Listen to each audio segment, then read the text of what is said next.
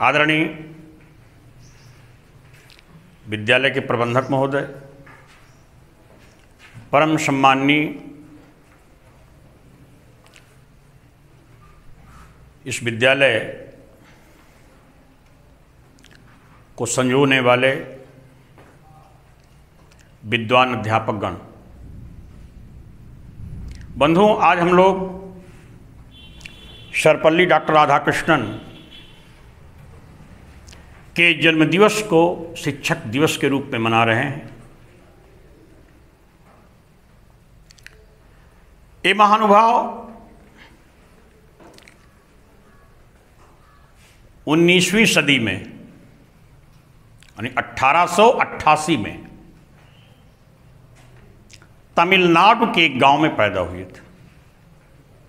कि पिता माता का नाम भी निकला आज पेपर में।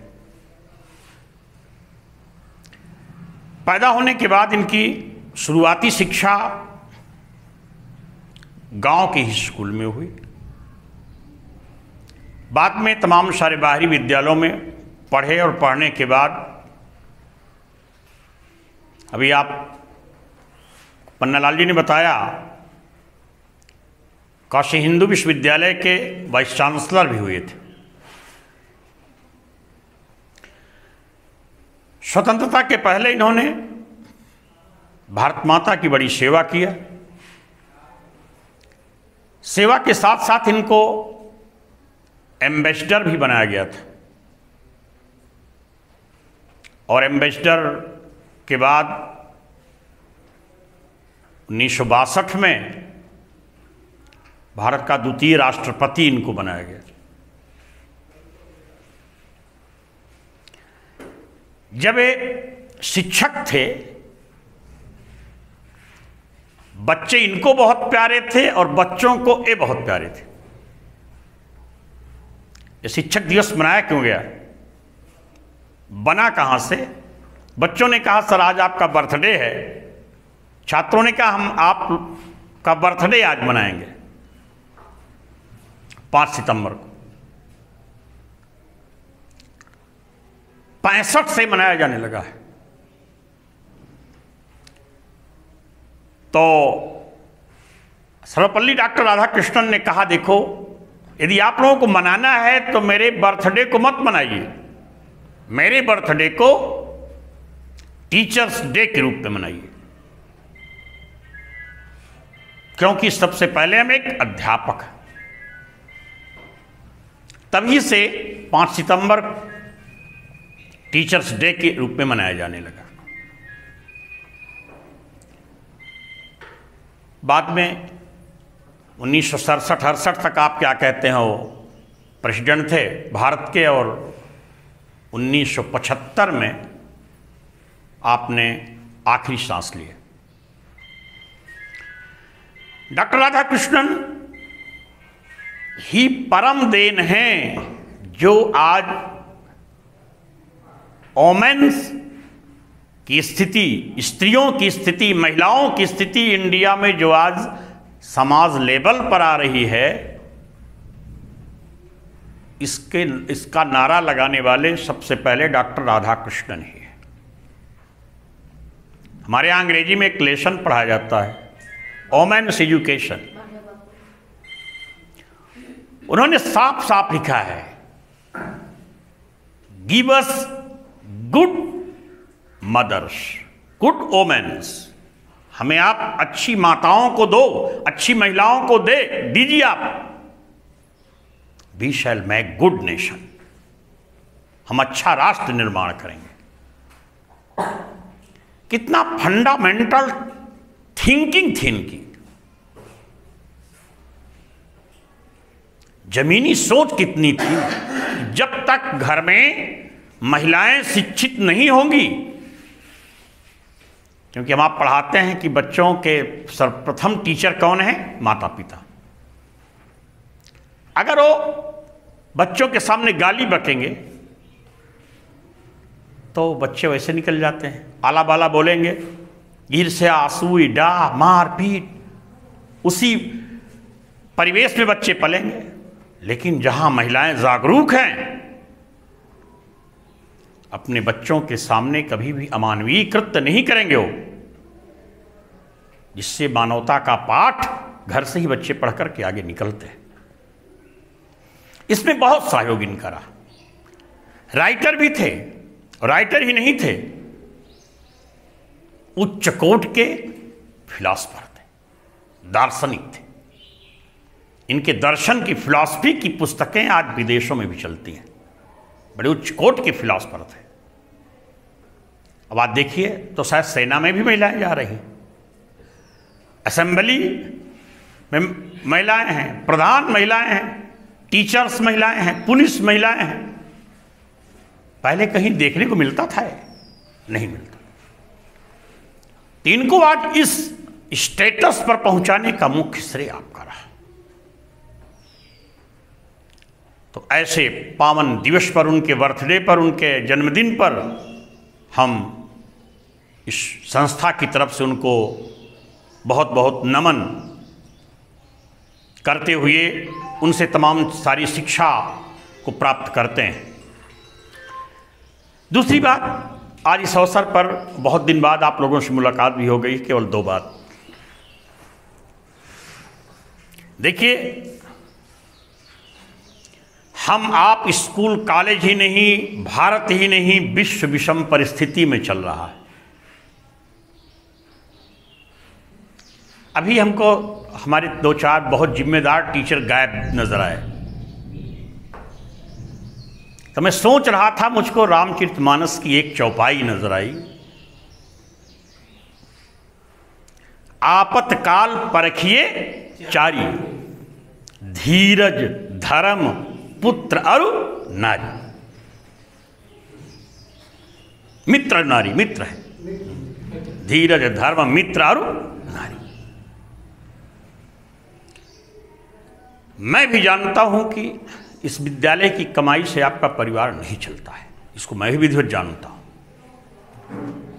ये तो एक संस्था का सम्मान है। संस्था को आप सम्मान देते हैं, समाज को आप सम्मान देते हैं और आपकी बहुत बड़ी उदारता है कि आप इतने छोटे वेतन में समाज के बच्चों को आकर के शिक्षा दे रहे हैं। स्कूल में प्रवेश करने के पहले आपको एक शब्द दिखाई पड़ता होगा, सेवा, त्याग। अगर सेवा और त्याग को निकाल दिया जाए, आज वो टीचर जो अस्सी हज़ार वाले, एक लाख वाले हैं सर नीचे करके चलते हैं। लेकिन हम आप सर ऊपर कर करके चलते हैं क्योंकि उनके पास अस्सी हज़ार एक लाख वालों के पास बच्चे नहीं हैं। हमारे आपके पास बच्चे हैं।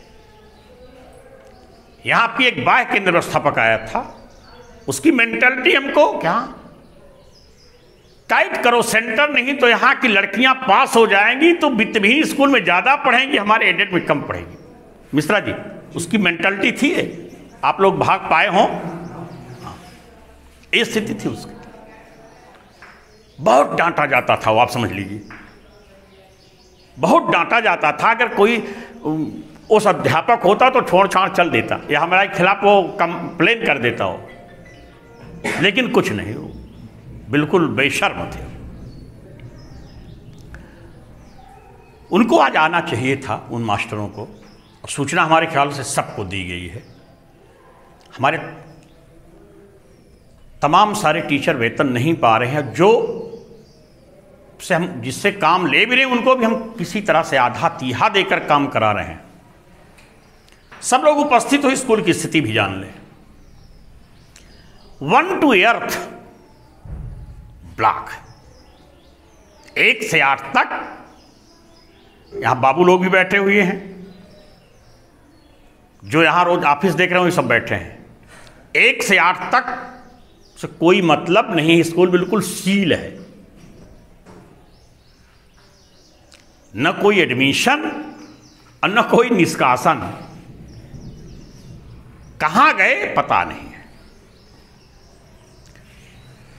लगभग सौ लड़कों से ज़्यादा जो आठ पास हुए हैं, उनका भी अता पता नहीं है।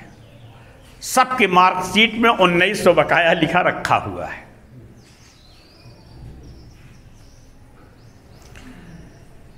नौ की संख्या हमारी हर साल से भी 200 पीछे है। दस बारह तो ठीक है, वो तो पिछली कमाई है हम लोगों की। एलेवेंथ क्लास अभी हम सौ पीछे हैं। लेकिन धीरे धीरे उसको हम कवर कर लेंगे, उसमें ज़्यादा दिक्कत नहीं है। बंधुओं जो बारह, ग्यारह और नौ के लड़के आ भी रहे हैं, उनकी स्थिति क्या है? उनके पास 500 की एक नोट है। वही रजिस्ट्रेशन फ़ीस है और वही उनके स्कूल की फ़ीस है। पैसा नहीं है किसी के पास।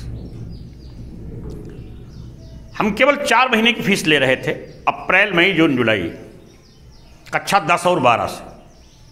Plus examination fees. शुरू में काइट टाइट की, लेकिन मैंने देखा कि जब कोई आ नहीं रहा तो मैंने डाउन कर दिया।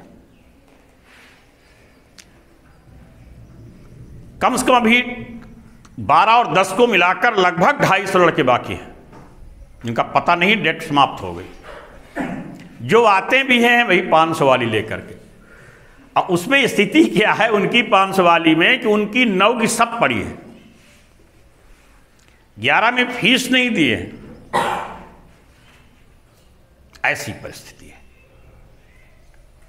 लेकिन उत्साह संपन्न मदीर्घ सूत्रम क्रिया विधिज्ञम व्यसनेश शक्तम, सूरम, कृतज्ञम, दृढ़ सौहृदंच लक्ष्मी स्वयं यात निवास है तो हम लोग मनोबल डाउन नहीं किए। क्यों? ये तो मैं इस स्कूल की बात बताया, अगर और सुराव तहसील में आप पता लगाएँगे तो शायद कुछ ऐसे स्कूल हैं, पचास परसेंट जहाँ इकाई में एडमिशन हुआ है, दहाई नहीं, इकाई में। हम चौथे शतक में नाइन्थ में चल रहे हैं। नाइन्थ क्लास में हम चौथे शतक में चल रहे हैं। बारह दस के लड़के भी बस वही काम चलाऊं फ़ीस अपना दिए। हमने भी कहा कि something is better than nothing कम से कम ये तो मालूम रहे कि हाँ पढ़ेंगे आगे, इनकी फ़ीस जमा किया जाए। पैंतीस पैंतीस बच्चों का नाम कल काट दिया गया। दस से और बारह से। आगे स्थिति बन रही कि स्कूल चलेगा। बन रही है आगे। अब हालत सरकार की भी गड़बड़ है। 21 सितंबर से कुछ संभावना है, लेकिन पहली होते होते खोल देंगे। 9 10 11 12 बंद नहीं रखे वो अध्यापक जो उदास हैं, नहीं आए हैं, उनको भी मेरा संदेश है कि उनको घबराना नहीं चाहिए। स्कूल खुलने दें, स्कूल चलाया जाएगा जो भी वो फ़ीस फाकड़ा अपना वसूल पाएँगे, सब उनका है। मैं कोई हिसाब उनसे नहीं लूँगा। पूरा सेशन हम उनको सुपुर्द कर देंगे। भाई, जब विषम परिस्थिति है, उस विषम में हम कर क्या सकते हैं? बता दें, यहाँ भी छह, सात, आठ बिल्कुल छोड़ दिए टोटल छोड़ दिए कोई मतलब नहीं है। हमारे यहाँ जो कक्षा पाँच हुए हैं, पास हुए हैं लड़के, वो छह में एडमिशन नहीं लिए हैं।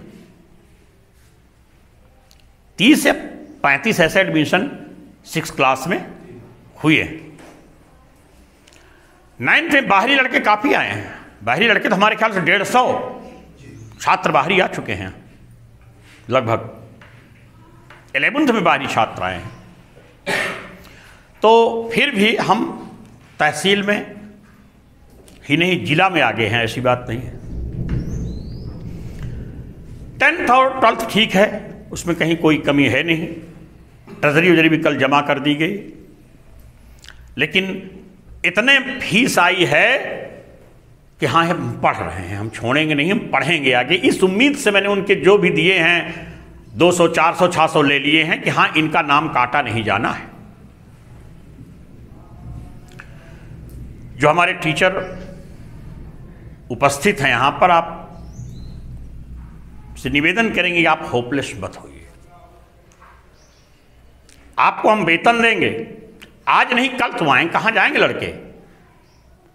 इस सेशन में अगर हम कहीं पिछड़ गए तो अगले ये भी जानिए अगले सेशन में सरकार और टाइट होकर स्कूल चलवाएगी। हम आपका इंक्रीमेंट लगाकर इसका आवास में वेतन देंगे। जो नहीं वेतन पा रहे उनको भी। लेकिन आप कम से हमारे साथ तो रहिए, साथ तो मत छोड़िए। जो बंधु आज नहीं आए और सबसे हमको कष्ट है प्राइमरी के हेड श्री राम प्रताप मौर्य जी। प्राइमरी विभाग में सबसे ज़्यादा वेतन पाते हैं। पाँच दिसंबर सितंबर नहीं था, कम से कम उनको ये मालूम भी होगा कि हम बीमार हैं। कम से कम हमारी हाल चाल लेने तो उनको आना चाहिए था। लेकिन वो गायब हो गए। सबके सामने समस्याएँ हैं। हमारे यहाँ, अपने यहाँ भी वो मिश्रा जी बैठे हैं, वेतन नहीं मिल रहा है। दुबे जी बैठे हैं, ओझा जी बैठे हैं, मिश्रा जी हैं, ठाकुर साहब वेतन नहीं मिल रहा है।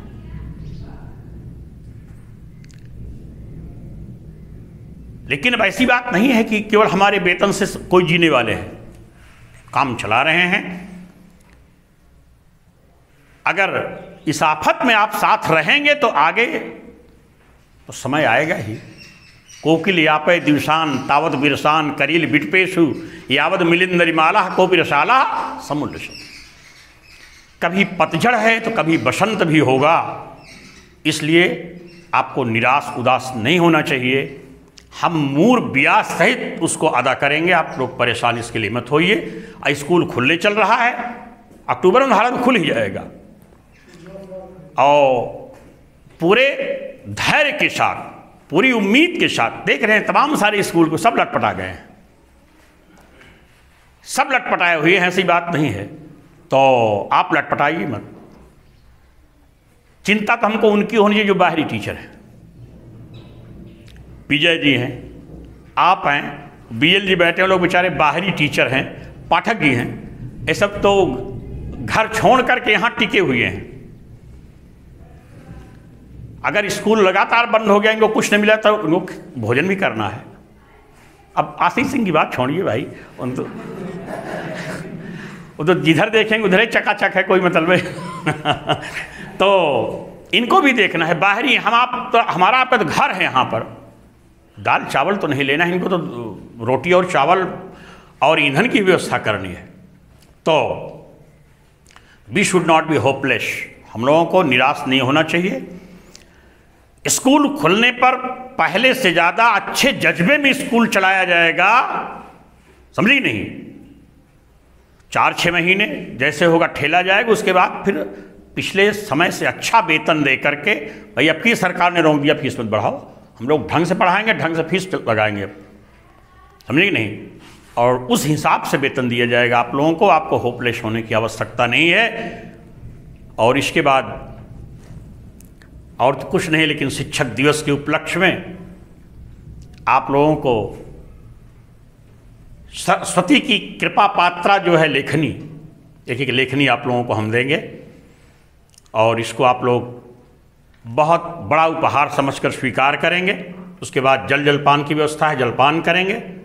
फिर हम लोग आपस में बात करते रहेंगे। जय हिंद, जय भारत। शर्मा जी।